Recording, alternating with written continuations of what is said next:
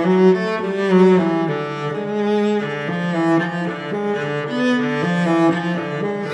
Executive Officer for the Palm Beach Symphony, which is welcoming you to our 49th anniversary season of performing right here in the Kravis Center. So there's Braman. Each concert, Braman brings in about 250 of their Club Braman members. So to the Club Braman members, thank you for your wonderful support tonight.